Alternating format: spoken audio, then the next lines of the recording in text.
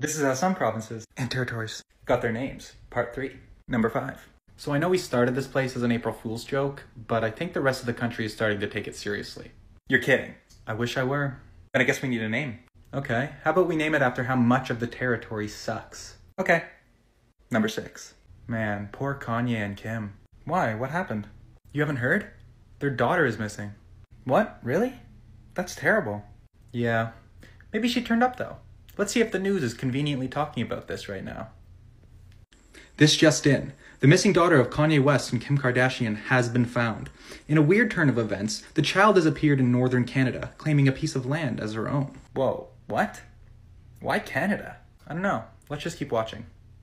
While the exact reason for this conquest remains unknown, it seems that the territory is being named for its conqueror. Well, at least it's geographically accurate.